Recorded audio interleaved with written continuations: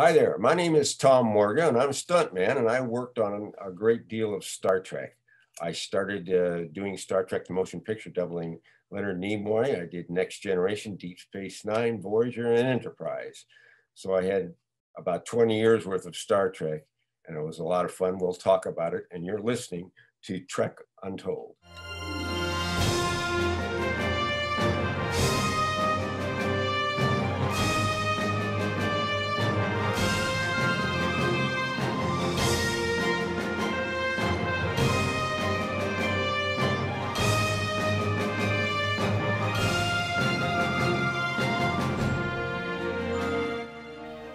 And welcome to Trek Untold, the Star Trek podcast that goes beyond the stars.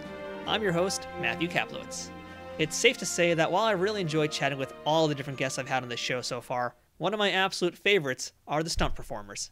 It could be that I wanted to pursue that profession for quite some time, or it could just be that I really appreciate a good fight scene, and in particular a good and meaningful action scene that's directed and composed like a symphony, because yes, that's how I view action scenes and I could easily spend an entire show just defining what I'm talking about, but I think that's going to be a totally different podcast.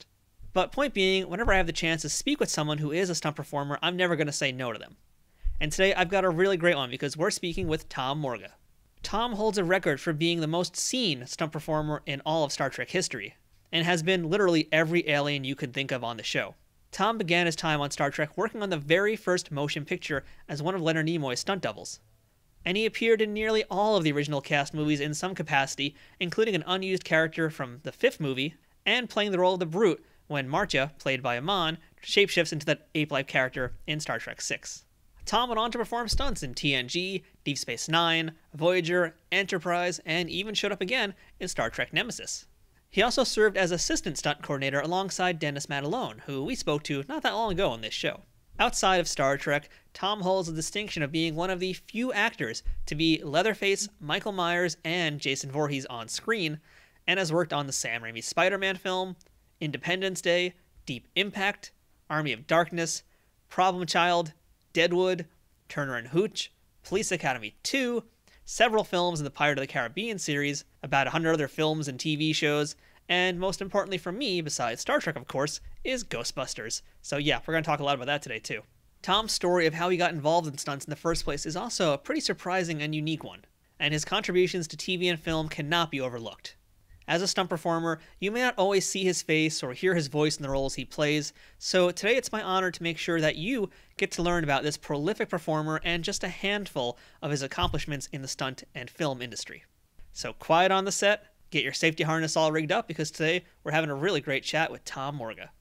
But before we jump into today's interview, I want to ask you if you're following us yet on social media. If you're not, you can check out Trek Untold on Instagram, Twitter, and Facebook, and we update there constantly.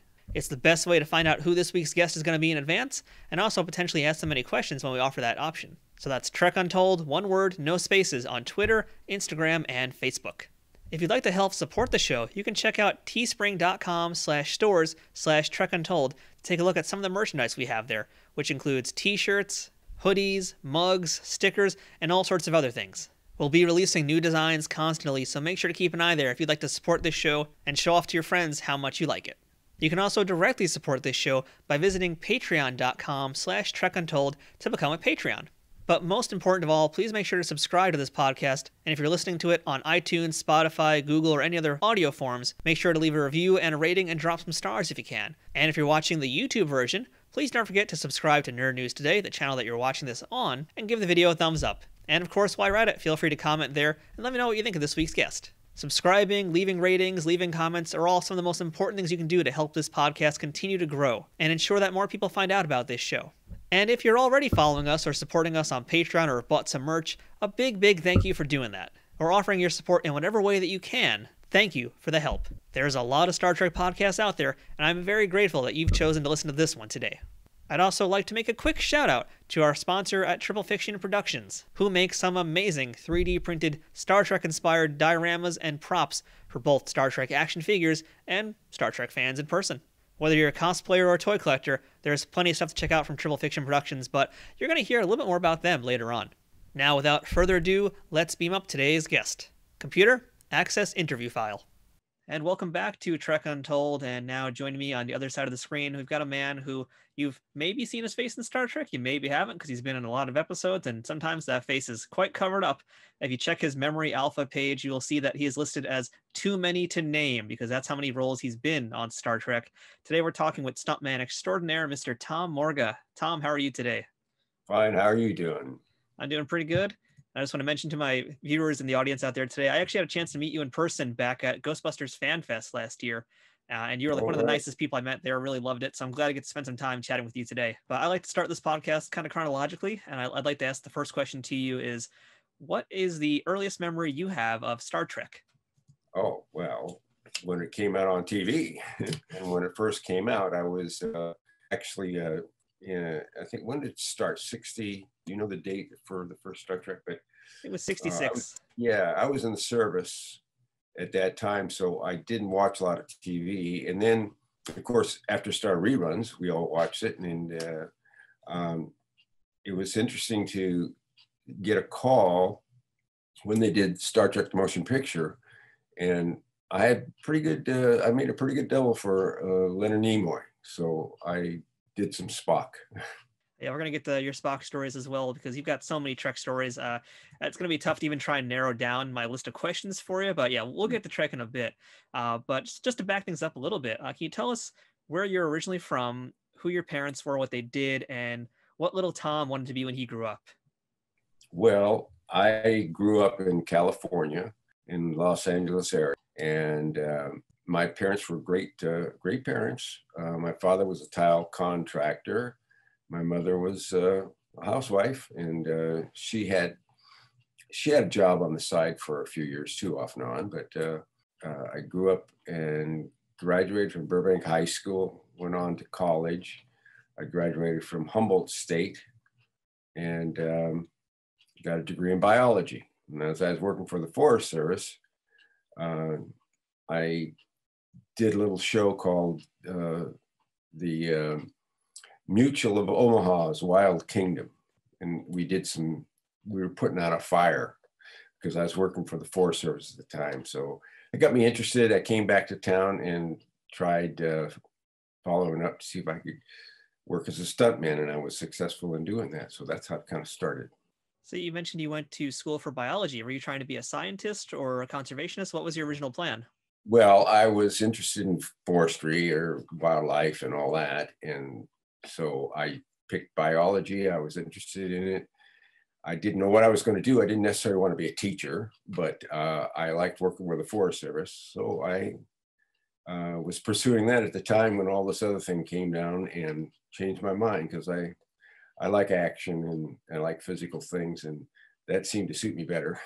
So, how does one pivot from science into Hollywood? How did you go from one to the other? Well, I lived in the you know, near the studios. I knew studio people, a few of them, and we were close to Universal Studios and the tours and all that. So, uh, you know, I lived in that area, and and I, you know, everybody thinks about being in a movie sometimes. So I thought, well, hey, it'd be fun to give it a shot. I'd love to do some more stunt work, and and when I inquired and searched out a little bit, I made a career path, and pretty soon I was just involved.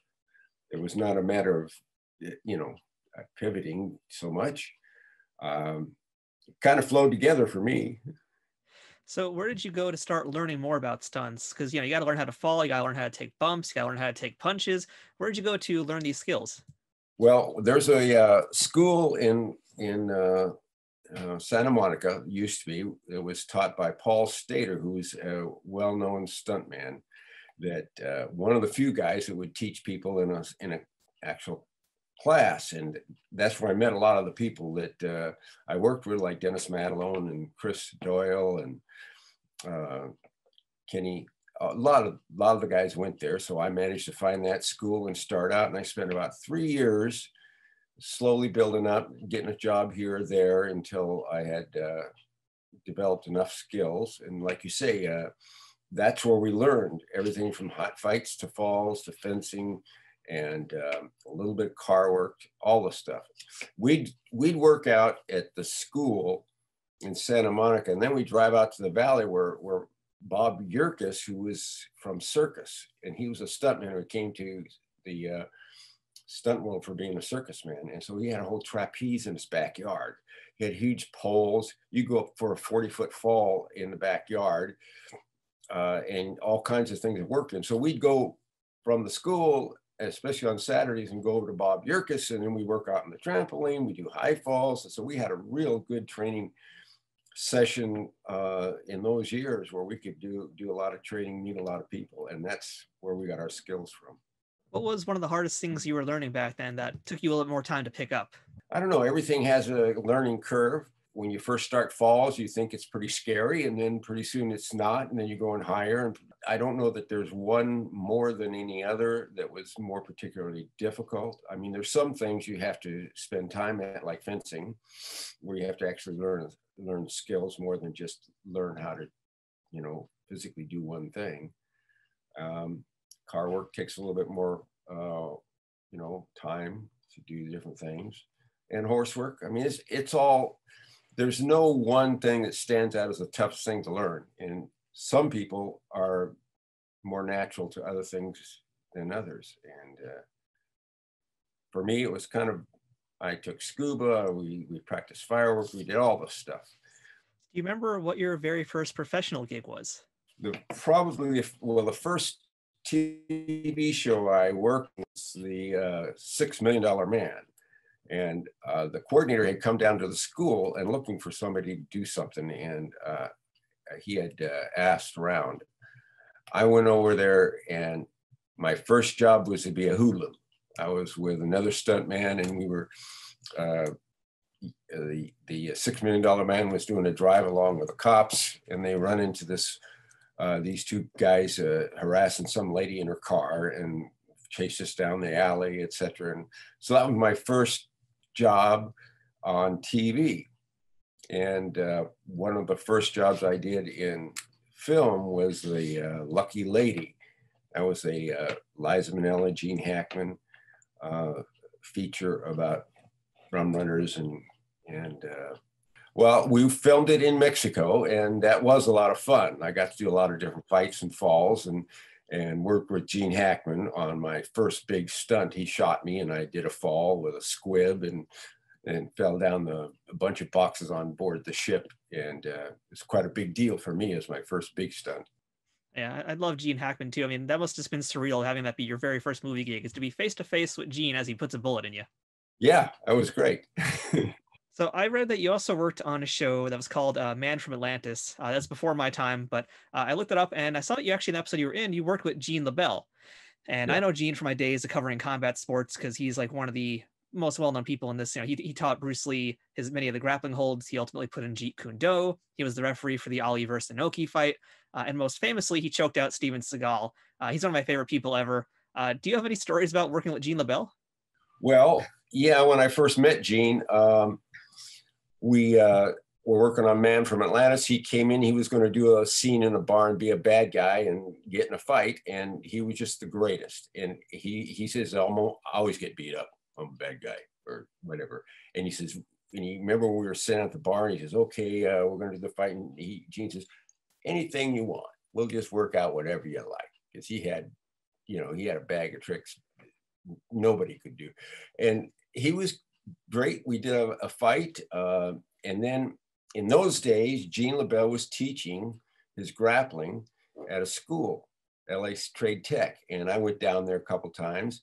And then I got to know him. And uh, when I joined the Stuntman Association, um, I worked with him in different places. And matter of fact, I got a picture of him when he was uh, at his grappling studio. Uh, this is just a few years ago when he was helping with the uh, UFC, and he had Ronda Rousey as one of his students, and she was a well-known lady uh, UFC fighter. So I've known him for years, and he's just one of the greatest guys. I'm glad to say I do know him. Speaking of Gene LeBell, are there any veterans that you talked to, especially in those early days when you're coming up in the industry, that you got some advice from or helpful hints? Well, a lot of them, sure. I mean, uh, uh, Bob Terhune uh, was one of the first guys that I I was doing the Man from Atlantis, and I was doubling for um, the Man from Atlantis, and uh, I had one episode where they had me coordinate. First time I was going to coordinate, and so I went to the Stuntman Association and book, and I got uh, uh, Greg Walker and Bob Terhune and a couple of the other guys, and they came in, and you know they didn't really know who I was. I have a show I'm doing, so but they were the greatest. They really helped a lot. They were they were there to help me. I had to do a bucking scene and so they helped me. I had to flank this horse who wouldn't, who wasn't really a bucking horse. And so they, yeah, everybody worked with me and I got a lot from them. Um, Butler, Dick Butler, when I started doing Scarecrow Mrs. King, he was a great help. And John Moyle started me out. One of the best features I did, I was doubling for Travolta. And uh, we went to uh, New York. It was called Two of a Kind. It was Olivia Newton-John, and he really gave me a good start too. So he he helped me a lot. So I've I've been blessed with a lot of guys that have done a lot for me in, in uh, through the years. Was there ever a piece of advice that you got from any of these great stunt workers that you've held on to this day and that you've always used this day in the industry? Oh, sure, a lot of different things. I remember one thing. Now, there's a stunt woman, Rita Egleston, and she used to double for the Bionic Woman, and she was in Paul Stader's class. And here's a girl who's, you know, uh, learning to be a stunt person. She happened to be there before I was there. And I never forget when I first walked in and was doing some fights and she was there and we were doing oh, various punches and I took a stomach punch. She says, hey, wait a minute. You know, that, that's not the way you do it. You got to buckle your knees when you take the stomach. You don't jump in the air. You're, something about it. I'll never forget her when I was first starting. Rita was Rita explained to me how to take a stomach punch. When I have told other people about it, I always think of her and say, well, this is this is how I learned to do it correctly from a stunt woman. And that was Rita. And of course, uh, fights and falls and all the things you learn from different people, there, there's always some significant things about it. And Paul Stader himself, of course, he was teaching the class. So you got to give credit to Paul Stader for a lot of things that we learned. And now, of course, you can't just tell us that she told you how to take a punch without telling us what that was. I want to hear what, what the what was the lesson? What's the way we should take a punch? Well, most people uh, consider a stomach punch as something where you take a reaction and you kind of buckle yourself and and and pick yourself up, jump just a little bit backwards and up. Actually, to take a good reaction, when somebody's hitting the stomach, what happens is they go down, their knees buckle and they go straight down, and it looks more like you got hit with a stomach punch as opposed to doing this. So originally um, probably uh, initially when somebody's trying to make it look good, take a stomach punch and lift themselves up. It doesn't happen that way. You got to take the punch the way it really looks. A lot of uh, body English tells you what you're looking at. So that's something that we learned when we were starting out. You know what what really makes a, a, punch look right and correct to the to the audience because they're used to seeing what what the body English shows them, and that's what you kind of. It's kind of like a mime where you have to learn how to do certain things to to uh, make it look real, and that's some of the things you learn when you're starting out. Very very cool. Now, I've heard that you were also in Commando. You did some stunts on Commando with Arnold Schwarzenegger, and I love hearing Arnold stories. Uh, do you have any stories about working on that film? Well, yeah, it was a, it was like actually uh, Hulk Hogan that I was working with, and uh, talking about uh, mime. That's what I was. I was a mime in this movie. Uh, wait a minute now. Which one did you say? Did you work in Suburban Commando, Commando. also? Oh, uh, yeah, I was, I was asking about Commando with yeah. Arnold Schwarzenegger. Sometimes did you, get my movies mixed up. Did you yeah, work in both those films?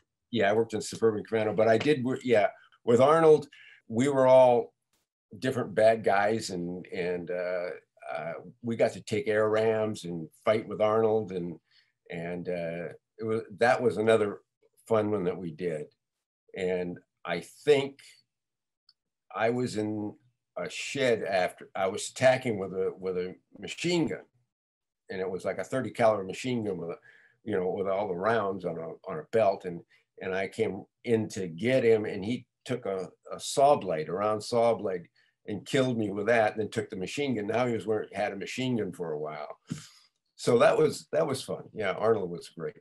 I've heard some different stories about Arnold, especially uh, you know we, we interviewed uh, Lycia Naff, who worked with him on Total Recall, and she said like basically all the women were kind of warned about him. Uh, but imagine it'd be a different thing for you guys. I mean, was he good Oh. good with stunt people? Oh, he likes stunt guys. Yeah, of course. He likes action. He likes stunt guys. So he, er, er- everything we did was fine.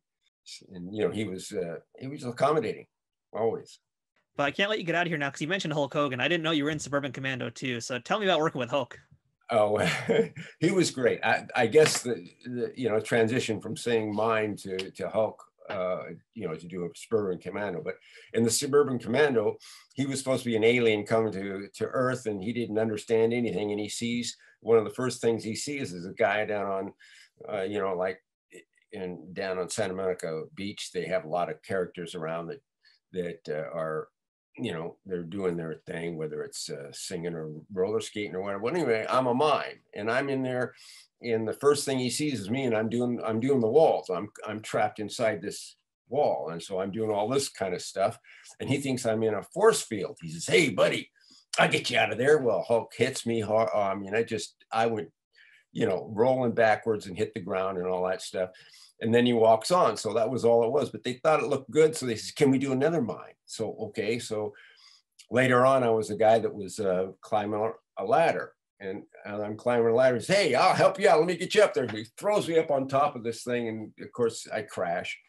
And he walks on, and then they said, "Let's do it again." Well, this time we'll have you break character because you know I've been beat up. So third time, I'm wearing band aids and and stuff, and I'm doing a rope I'm I'm I'm pulling this rope and he comes up and he says, Hey, let me help you with that. I said, No, you take it. And I run off.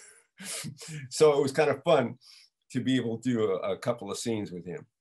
Hulk was used to being in pro wrestling, so he's used to doing basically worked punches. But do you remember if you or any of the stunt coordinators or anybody else on the set had to kind of help him uh, learn to throw more realistic punches for the screen as opposed to what he was doing in the ring? No, I I'm I didn't work with him on any punches, so I don't know if, if he wasn't, but he was pretty handy. I know that uh, he says he's going to pick me up and throw me because that's after he grabbed me, he was going to help me out and throw me up. But I, I said, well, here, how, how about I help you by put my arm on his shoulder? He well, what do you weigh? I said, well, about 100. So, well, it is. You need help. And he started to pick me up. So I just stiffened up and give him a little help and, and, and it works a little easier. So you do have to work together. Uh, and in that sense, uh, I worked with him on that particular throw. But uh, he, of course, I'll tell you, probably some of the most capable people to be stunt people would be wrestlers because that's what they do. They gotta they gotta make it look good, and they and they can't get hurt. A lot of their stuff is real, but a lot of it is too. Uh, you know, it's it's like a stuntman. They they they put something more into it. Yeah, I know Terry Funk transitioned briefly into stunt work as well a little bit, and I know Stallone loved working with Terry and a few other guys when he did uh, Paradise Alley, I think it was. So yeah, wrestlers transitioned pretty easily in this. Yeah, but it's like a boxer. They think a boxer make a great stuntman, but a picture fight is not a real fight because if it was a real fight, you you, you, you would you'd lose because a real fighter would be able to take you out with a counter and everything else because you're making it looks like you're going to punch him, and they can see that coming and all this stuff which you have to show on camera so the audience sees it. Well, if you're in a real fight, the guy you're fighting is going to see it too. So you mentioned this uh, as we started this interview here that you were a double for Harold Ramis in Ghostbusters, and just to let folks know, you also doubled for Jeff Goldblum, Patrick Duffy, Tim Robbins, and many others, as well as Star Trek folks who we'll talk about a little bit later on. But uh, yeah, I'm a giant Ghostbusters fan, obviously. Uh, can you tell me some stories about working with Harold Ramis? Well, uh, he was directing as well. And so Ivan Reitman was the director of that of that movie. Well, but Harold was up there directing okay. with him. Yeah, he was he was doing a lot of that uh, himself. So he, uh, he was in, involved in the production, and so uh, he was kind of away from everybody a lot. I didn't inter, interact with him too much.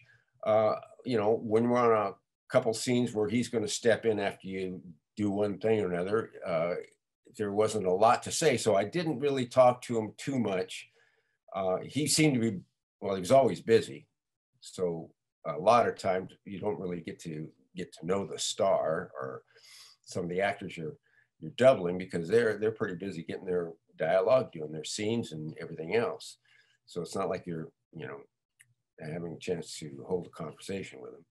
But he was a nice guy from the bit i got to see, see with him and talk with him. And which stunts exactly did you do for Harold? Well, there was a couple things. Uh, when they had the street break open and a car fell in the in, in a crevasse and all those Ghostbusters fell in, I did that for him. And then at the top where um, uh, where I forgot her name, the one who was the uh, the Sigourney Weaver. Yeah, oh, you're talking about Zuul. You're talking about Zuul.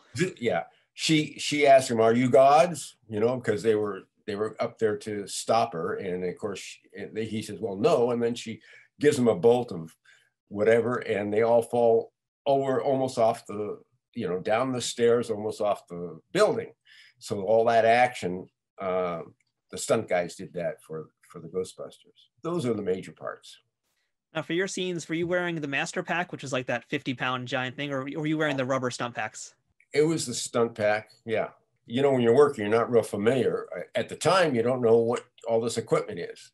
So I I don't even know uh, what the real one or you know the one they used for the film. I had, of course, what we could use for the stunts, so it had to have a lot of rubber in it. Trek Untold will return momentarily. Trek Untold is brought to you by Triple Fiction Productions. If you're a Star Trek cosplayer looking for props or toy collector looking to spice up your shelves, Triple Fiction Productions has you covered. Triple Fiction Productions produces affordable and unique 3D printed Trek inspired products from the original series, Next Generation, Deep Space Nine, Voyager, Enterprise, and the movies. You can expect the same amount of care and attention to detail in any of the items in their catalog, whether it's a prop replica for use in a fan film, or a part of a cosplay, or accessories and playsets for figures from Playmates, Migos, or Diamond Select. Own your very own tricorder or phaser rifle with working lights, the bridge of the Enterprise E for your Playmates figures, or any other item from countless species and ships from the Star Trek universe. All products are 3D printed in the USA and are constantly evolving and improving based on fan feedback. To learn more about their products, visit them at triple-fictionproductions.net or on Facebook at facebook.com slash triplefictionproductions. Triple Fiction Productions, taking Star Trek where no 3D printer has gone before. This is Lycia Naff, aka Ensign Sonia Gomez from Star Trek TNG, soon to get a promotion to captain on Lower Decks. Some of you may know me from my acting career, but a lot of you probably don't know me from my charity. It's called drivebydogooders.org myself and a bunch of teenage boys from the block, we all jump into my SUV every Sunday and we drive to the outskirts of town. And right from the car window, we deliver water and wipes and protein and tarps and socks to our adult homeless who truly need it right now. I don't know if you know this, but in LA, there's not one single public bathroom and not one single water fountain for anyone. And out there in Skid Row, there's 11,000 people in 20 square blocks. So our water and our wipes are really needed. We go out every week and you can follow us on Instagram or Facebook or right on the website drivebydogooders.org and throw in any amount, even a small amount is great. For instance, you can go on the website and when you click on donate, you can see where three bucks is going and what your money is going towards, or where 17 bucks is going. Sometimes it's for cheese, sometimes it's for socks, sometimes it's for just what's really needed, which is water. Any holiday donations you might be deciding where to relegate, please consider drivebydogooders.org. It's also completely a tax write off and every little tiny, tiny bit helps, anywhere from $3 to $3 million. Your money goes directly to those who need it, and we have no overhead, no agenda, pure giving. And stay tuned for the animated version of Sonia Gomez on Lower Decks coming soon. DriveByDoGooders.org. We drive by, and what we do, what do we do? We do good. Thanks so much. Hope to see you at my website. Bye. We now return to Trek Untold. All right, so Tom, let's jump into some Star Trek discussion. And there is a lot to talk about because your story with Star Trek begins with the very first motion picture. So, right. uh, can you tell us just first off how you got into the motion picture and were you aware that you were auditioning for a Star Trek film? Yes. And I was asked to come down and do an interview. And fortunately, I looked pretty good as a stunt double. I had kind of Leonard's cheeks and and uh, if you saw a picture of me dressed as Spock, it was a pretty good double.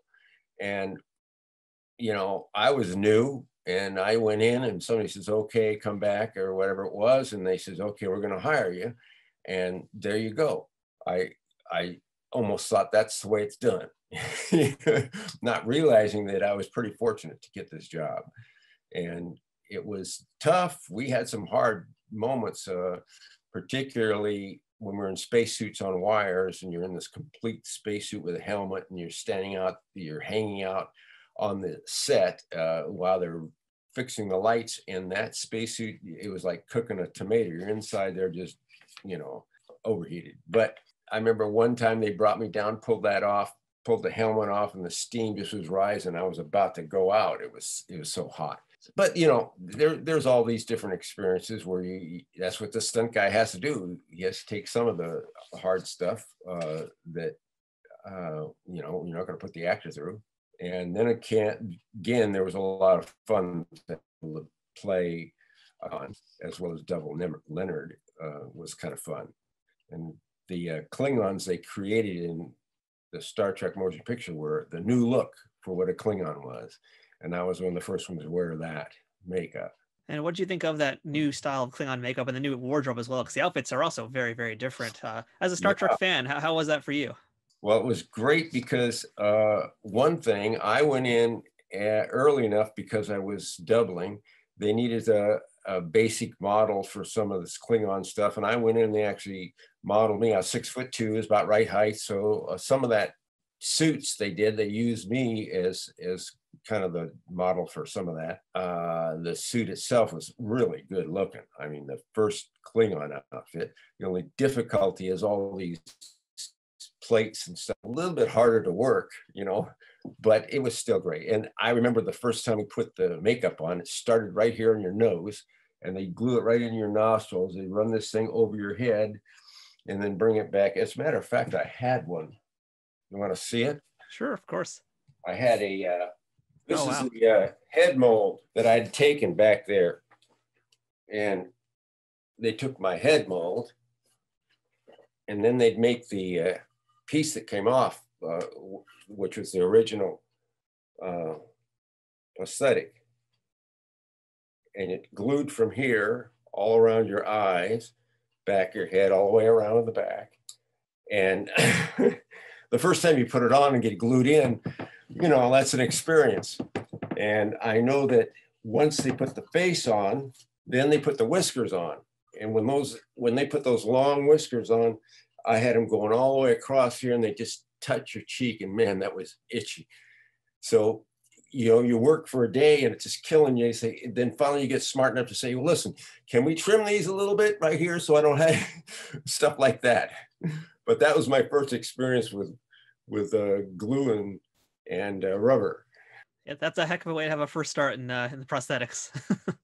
yeah, head mold and everything. I was fortunate to have some neat things happen when I first started out. Now you also returned for Star Trek Three, which Leonard Nimoy also was the director of. Uh, yeah. Do you remember? Was he directing you in any of your scenes, or was your stuff mostly second unit work? No, no, it was with Leonard. Yeah, I remember when Leonard was directing. I went into the production office, and uh, they had another coordinator there at the time, and he was from the Stunts Unlimited group, and I was basically with on uh, the Stuntmen's Association. So I didn't figure I'd be doing too much because they'd use their guys for most everything. But Leonard says, "Oh, this is Tom Morga. He's going to be my double." And you know, the beginning where we have that alien, let's put him in there. And then uh, one of the Klingons, he'll he'll be the Klingon that that uh, will be on board. And then um, when we do that scene in the bar, he can be one of the uh, he he can be one of the uh, Star Trek guys. Uh, and I'm just standing there, oh God, this is great, you know, because I would never have been able to do any of that stuff. I would have just doubled Leonard and do whatever, but he was really great. And so I did a lot of different things in, in the film. It was a lot of fun.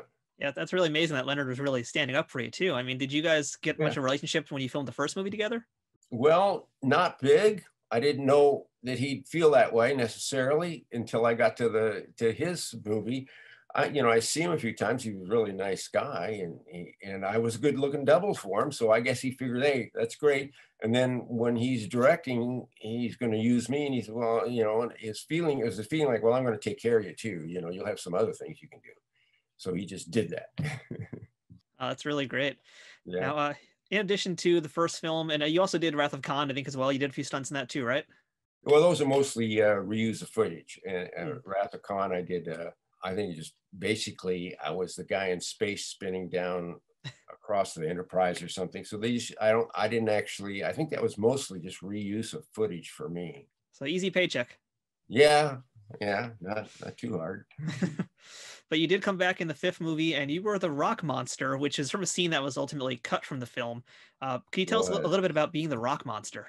Yeah, they they have different ideas of what the creature should be, and they wanted to make it this or that. And production had an idea, and somebody else, so they created the rock monster. And this was a guy that we just completely looked like built of with rock, and I had a complete prosthetics. And then they had they even had a little teeny vent hole so they could blow smoke through me, and I'd kind of have a bit of smoke coming out between all the cracks in the rocks and stuff. And then I did several different scenes and somewhere along the line they decided that the rock guy didn't look right to them. He was a rock guy and he, and he you know he was too square and too and so they went with a voice and a and a face and something else and and all those scenes were cut. So i never got any of the pictures or any of that stuff. I, if i'd was been smarter i'd have said well listen can I cause this before we did you know to myself? I might have been able to to get something from a still man. I don't know. I'm sure there's some, you know, old photos somewhere in in uh, Paramount's uh, vault that if you could, you could probably see what that thing was, but I didn't get them. That film was directed by William Shatner, and again, you got to work with him as well, I'm sure, throughout all the other movies. But uh, this time Mhm. around, as a director, I mean, do you remember what he was like to deal with? Was he actually directing your scenes? Oh yeah, well he sure he was directing, and he was uh, like any director though. They're busy and they're doing their, you know, this get that and and roll it and and. But he seemed to be pretty good for me, you know. Um, uh, he he directed the the film um, like uh, well, you know, he had he has his own approach. Every everybody has their own uh, technique and their own vision. So you just go with what the director wants. And uh, he was good. Nobody had big complaints. Do you remember if there was much of a difference in the directing style as from Leonard Nimoy to William Shatner? Yeah, I think so. Uh, I think Leonard had a better, maybe a little better taste. The overall, uh, what he's doing. Uh, Shatner was Captain Kirk, and he was looking at it from the position of Captain Kirk. You know, uh, I'll say this and do that, and then we'll shoot this, and then you know, and it just just makes a little bit of difference in that sense of the word. Where Nimoy was more, I think he he had a little feel for the overall thing about how it's all, you know, what the storyboards are going to do and how he's going to all cut it together without the consideration of, oh yeah, well, I'll have to do this. I'm Captain Kirk. I'm, you know, just might be some of that. I do. I wasn't there enough to, you know, be real accurate. I, I, as a stunt guy, you work a number of days and then you're off and you come back. But if you were one of the cast members, might be be able to tell you more of the difference between the two styles. Around the same time you did Star Trek Five, I think you would have also have just begun doing Next Generation, right? Uh, yeah, we did TNG, sure. How did you get jump over to Next Generation? Was that through Dennis? Well, yeah, that was real easy move because uh, first off, I was well known with the, uh, you know, the company itself, but Dennis Madalone had gotten started because when they first began TNG, they didn't have a stunt coordinator. They would vary. They bring in a director and he, you know, who do you want to do? Because we have a couple little stunts here. And they'd say, well, I got a guy, et cetera, et cetera. John Moio came in one time and did it and he called me in and I did a little fall for him. And then all of a sudden, Dennis Madalone came in. When he did his thing, he also did a little part and they liked it. And he just flat, I think, I think Madalone took it upon himself. He said, listen, uh, the next one, I'm available, you know, if you want. And so he kind of got himself started and pretty soon he was the coordinator. Well, we were good friends. And, you know, I'm six foot two and Madalone's shorter. So, you got to Klingon, you got to whatever. He started using me right away, and and it all worked out. We meshed well. We worked well together. I was good for the different sizes of the characters.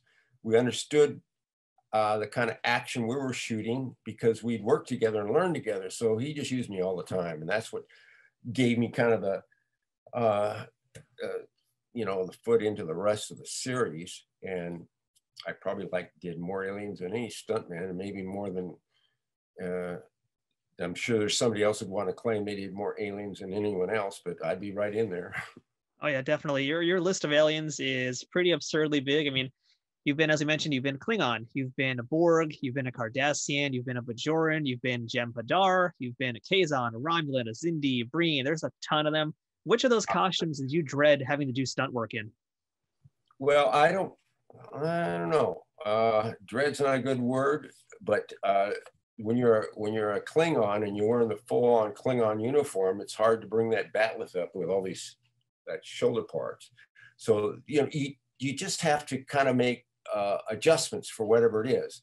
Uh, the one that was probably the most difficult in the sense that you can't do anything was when I did the swarm. And the swarm is this character who he's got a complete piece and it has a funnel for, an, I think I have a picture around here somewhere I could show you as we talk about it. But the swarm, just show you right here. The swarm has got uh, this big nose and everything. All you have is a pair of eyes.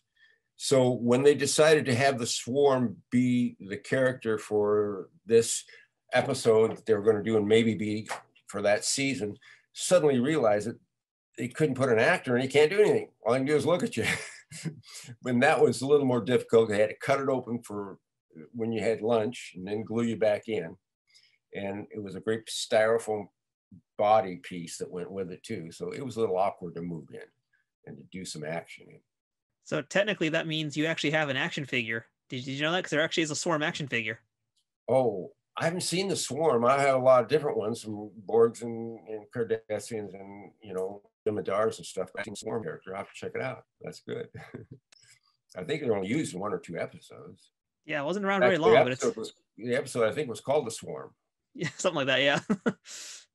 So I wanted to actually ask you specifically about an episode from TNG also before we start jumping around too much here.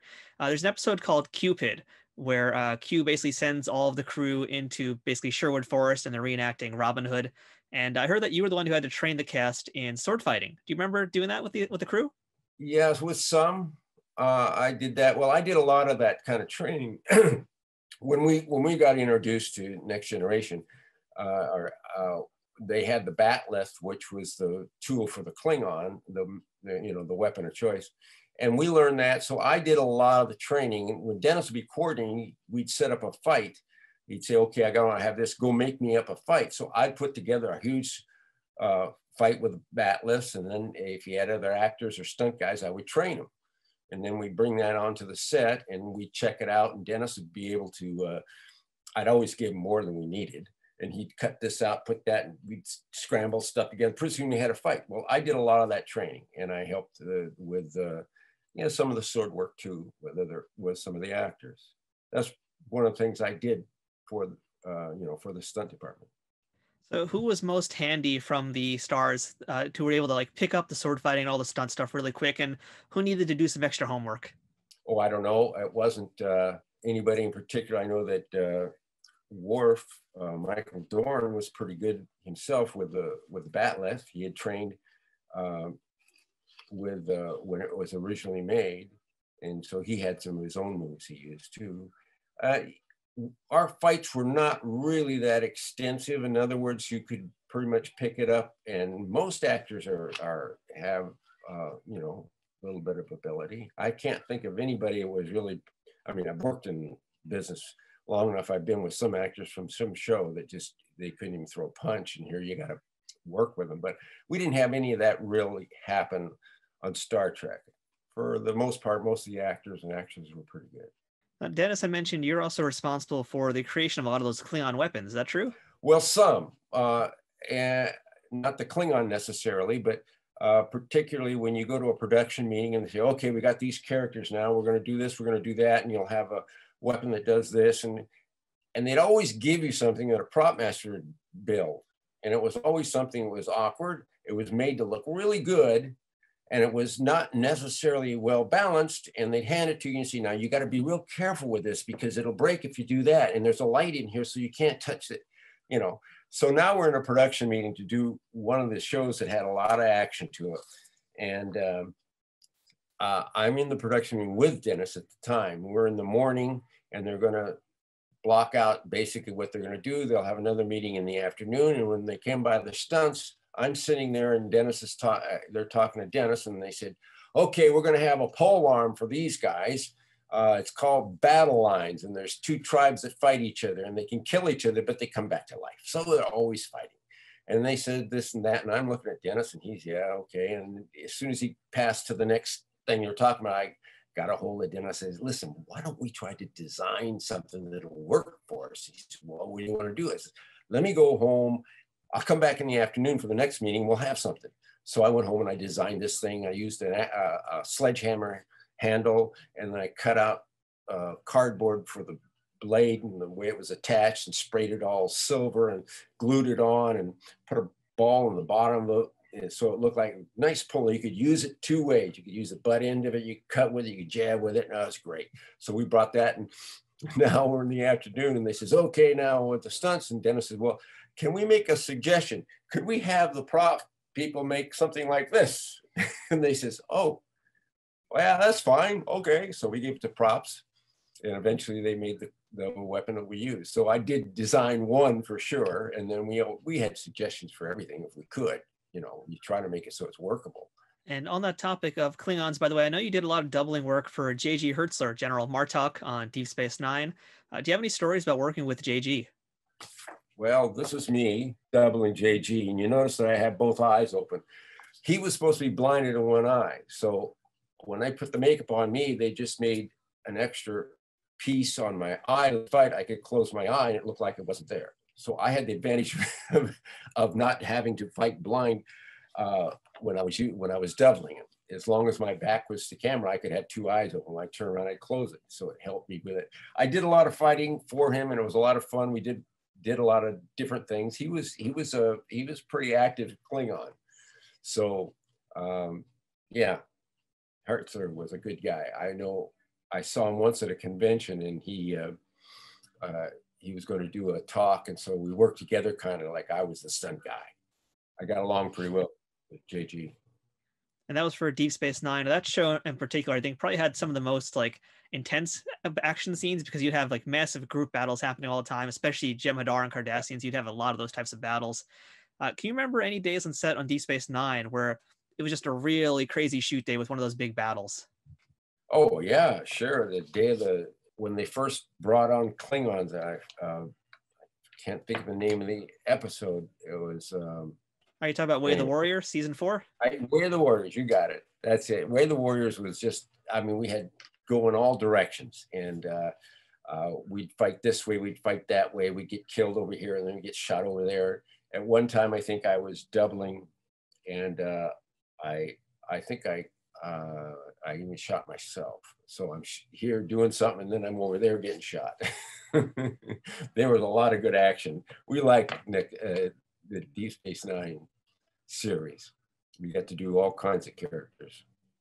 Since you worked on pretty much TNG, DS9, Voyager, and Enterprise, uh, what would you say mm-hmm. the differences were between the type of stunts you would do on those shows?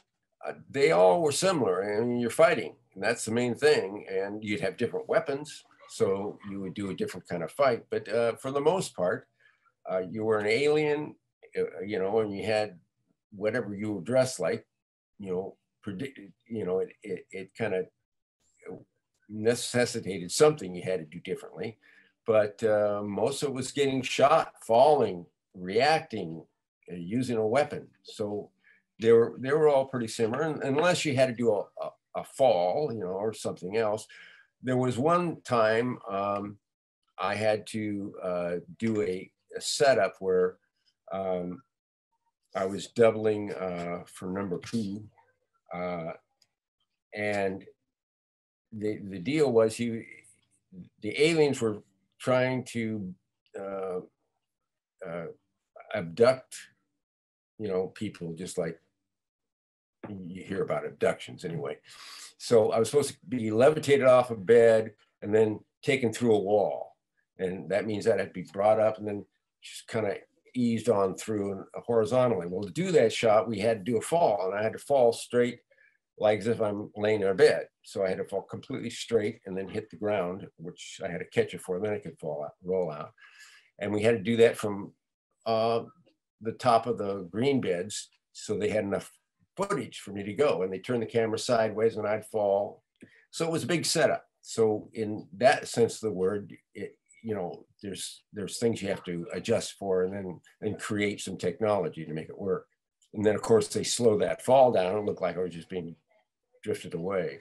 So Dennis mentioned that probably the most uh, exciting stunt for him was an episode where he had to actually be set on fire. Uh, for you working on all the Star Trek shows, what would you say is maybe the craziest or most intense stunt that you got to do?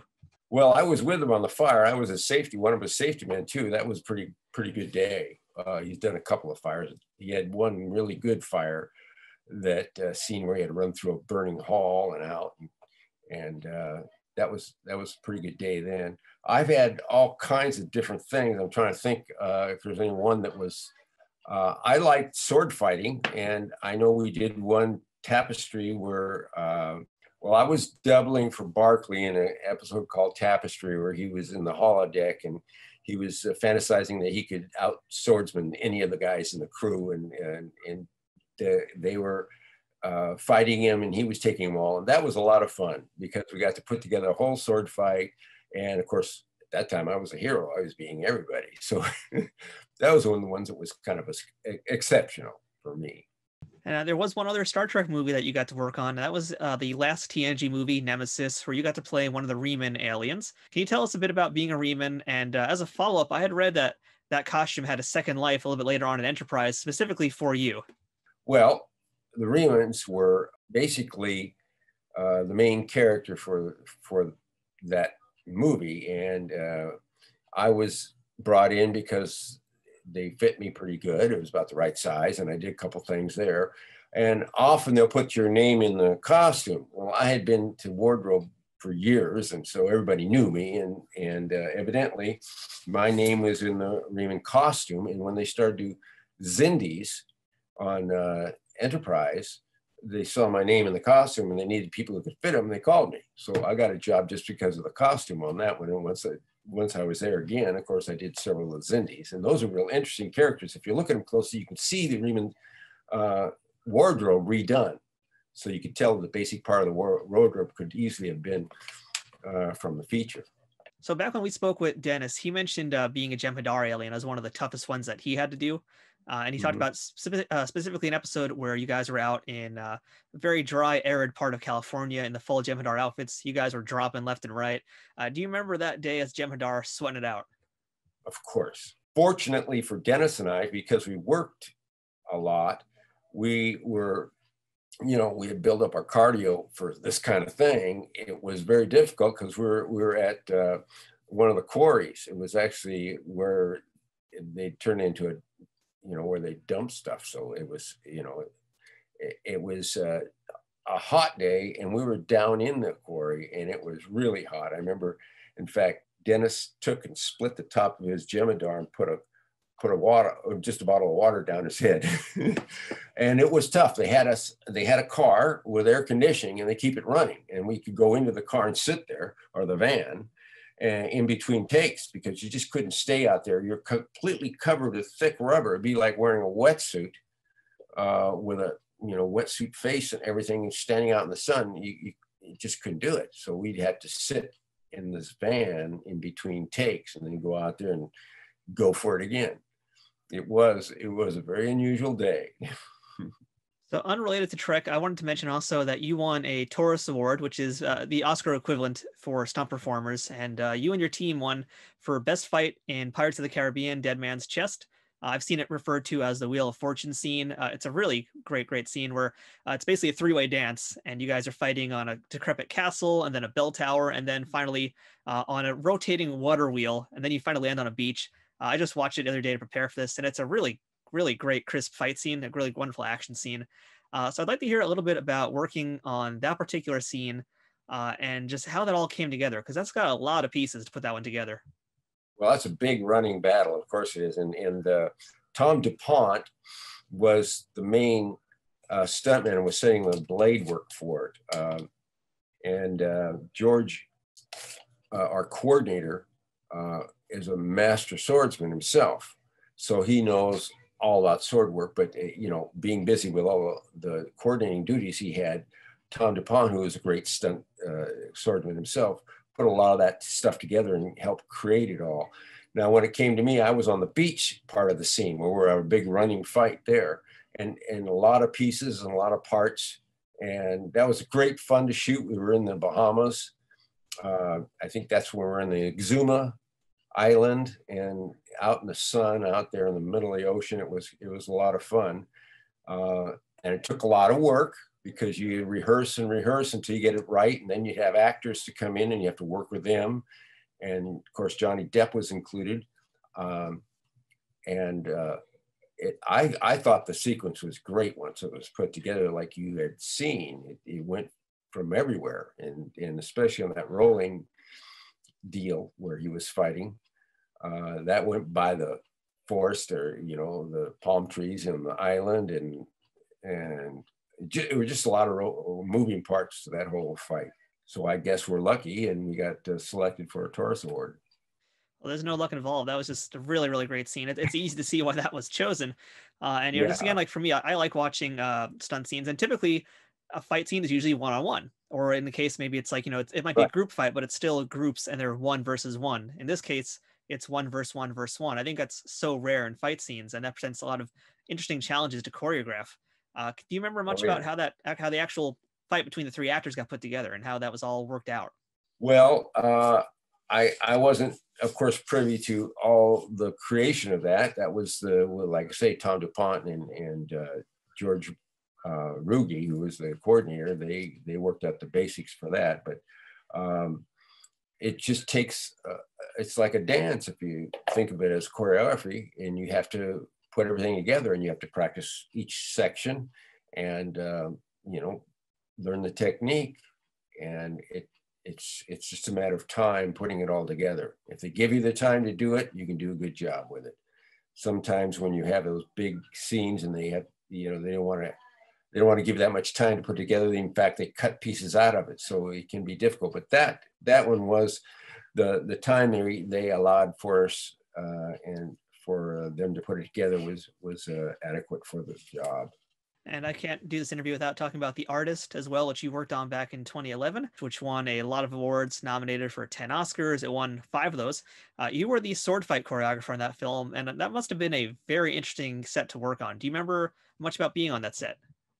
Of course, yeah, that was a that was a lot of fun. Uh, it was it's a little disappointing in the fact that I had a knee injury at the time. So when I started the uh, fight, whether uh, you know with the stunt guys in it, uh, it uh, I couldn't do the shoot itself because I had a bad knee. I brought in uh, Brian Williams to take my part, but I was able to uh, set the, the basic uh, blade work with it because we were going in uh, to do the original uh, rehearsal and figure it out. I put together a fight because they said, well, bring some ideas. Well, I made a whole fight. I put it together we went to Mark Donaldson's house. He was one of the stunt uh, stunt guys on it, and um, we uh, started using my routine. They That's so they just used my whole routine and we modified stuff we needed to. So I actually got to set that. I don't think I got screen credit for it because I wasn't uh, actually uh, shot. Uh, you know, I wasn't in the shoot, but it was a lot of fun to put it together and a lot of fun to see it happen and to think that uh, I actually had a hand in doing some of the choreography on, on a you know award-winning movie. That was kind of fun. So, as a film fan and a stunt performer, are there any fight scenes that you really like to watch, or any movies in particular that really stand out to you as one of your favorites because of the action or stunts involved in them? I like a lot of stuff. When I was growing up, I was a John Wayne fan. That was my big hero. And so all the old cowboy stunt fights and John Wayne fights were great. I like those. Um, and uh, eh, today there's just lots of action and, and with martial arts having been brought into it, uh, I'm I still have my own copy of Enter the Dragon, and I watch that all the time, or you know, occasionally because Bruce Lee set the, the bar for for martial arts, and I I think that's just one of the greatest films for action. And then um, there's been so much wire work done and, and effects that included uh, computer graphics. It's the action we have these days is just really way over the top.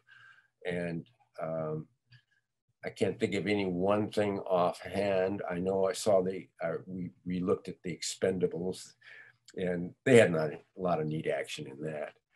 Um, you can name a lot of films that they that currently being done and just you know in the past few years they when they put the action in those um, you know they're really great and and so the superhero movies as well you know you're doing things like like spider-man or superman that that's impossible. And when they put all the technology together and make a, a fight with that uh, it's great. It just like you say i think most movies are sold by their action. If you look at trailers what is a trailer? It has some you know dramatic scenes but uh, most of that stuff's got action in it to bring the people in uh, I'm glad you brought up Enter the Dragon. Also, you know, myself, like I do appreciate a lot of the stunts today that incorporate the CG. Like, you know, I think that one we mentioned in Dead Man's Chest has definitely some CG in it. But I'm always a fan oh, yeah. of, uh, in particular, Sammo Hung and Jackie Chan. Probably more so Sammo, oh, um, because I Jack- feel like you know he incorporates so many great Buster Keaton elements, some comedic elements in the stunts. Also, I'm a big fan of his work. I got to do the first movie that he did in the United States. It's called The Big Brawl with Jackie Chan. I don't know if you heard of it, but yes, uh, he was back, so back before he even really spoke much English. Right, he was terrific. When I first saw this, I couldn't believe the stuff he did. He didn't have safeties either. You know, he he didn't safety himself off like we would today. He, I know one time he was climbing a power uh, uh, power line structure. Uh, you know, and he was swinging from one to the other. He's up doing his thing. And then one time we were in a, a, fight in a theater and he jumped off the balcony down to the aisle and ran down the aisle and started a fight. And this was for real. You know, he just did it. And he was a lot of fun. So right now we're doing this interview and it's still in the midst of the COVID-19 pandemic and the film industry at this point starting to get things back up and running in dribs and drabs. But uh, how do you foresee the future for stunts being changed once things start to normalize? I don't think it's going to be, you know, once it's once we have a vaccine and everything's back to normal, it'll be just like usual. I think right now, uh, you know, the the things you have to do because of, of uh, you know the pandemic. Like I think the way they're doing everything, they have masks, they have shields. Uh, you have to keep distance, and you can only the actors have to wait till they actually are filmed before they take anything off. So all this protocol is very expensive as well because they got to do testing, et cetera, et cetera. So uh, it's very difficult for uh, independent movies, film companies, and smaller companies to do it. Uh, but eventually, I think this will all go back to what we had. It takes time. You just got to live with what you're working with. So, Tom, these days, are you now retired from working in in the industry? Um, not completely retired. I haven't worked for a few years, but uh, I uh, don't consider myself out of it completely. I'll be doing some things. I had uh, uh, some business has taken me away, and uh, when you get older, sometimes you don't get all the parts you uh, did when you were younger. So it slowed down a little bit, but I'm not completely out of it. All right, that's good to know. So we could hopefully see Tom Morga at sometime back in 2021 on screen again somewhere once things are back to normal. Yeah, I hope so. So, Tom, last question for the day. What is the best thing about being a part of the Star Trek universe? I think best part of the Star Trek universe itself is the fans. Uh, I know when I first started and did the feature, the Star Trek the motion picture, I had really no idea uh, where it would go from there. And I thought that was basically a single film that was just bringing the cast together again. And then as uh, Next Generation started and we started working on that and all the things that happened. It was real for me just to have been able to play all these aliens and do all these shows. Um, it's just a big part of my career, and it had, has a lot of personal uh, meaning for me. And just to be able to say I'm part of that Star Trek universe. Tom, thank you so much today for telling us all your stories about working in Star Trek and some other projects you've been on. Uh, you know, I always love talking with stunt performers. You guys just have so much knowledge, and uh, something I've told Dennis in the past. You guys are the invisible warriors. So thank you for all the bumps you've taken, all the beatings you've taken on behalf of folks who weren't able to do that. Well, my pleasure, and I'm glad you have some interest in it. That always makes it better for us. That was our chat with Tom Morga, who has so many more things I'd love to learn about. So don't be surprised if we happen to have him back in the show sometime again soon. And to be completely honest, I would love to get him and Dennis Madalone back together in one episode to have a nice roundtable discussion about stunts on Star Trek and everywhere else they've been. It's never ever a bad thing to have stunt performers reminiscing about all the different work they've done. And if that's something that you'd like to hear also, don't forget to let me know in the comments or on social media. Now, Tom Morga has one other Star Trek connection that we didn't discuss today, and that was for the fan made series Star Trek New Voyages. In the episode World Enough and Time, Tom was the fencing coach for George Takei. And if you're interested in seeing what his work looked like, you can check that episode out on YouTube right now, where it currently has over 1 million views since its debut back in 2012. So if you like fan shows, this is definitely a good one to check out. Thank you for listening to this week's episode of Trek Untold. If you aren't already, please make sure you're following us on Twitter, Facebook, and Instagram at Trek Untold. And if you'd like to watch the video version of this podcast when available, make sure to check out youtube.com slash nerdnews today. And don't forget you can also check out teespring.com slash stores slash Trek Untold. Check out all the Trek Untold merchandise we have, or consider supporting us on patreon.com slash Trek Untold. Any contribution you can make helps keep this ship running at optimum power. But even just listening to the show and telling your friends about it does a pretty big thing for us too.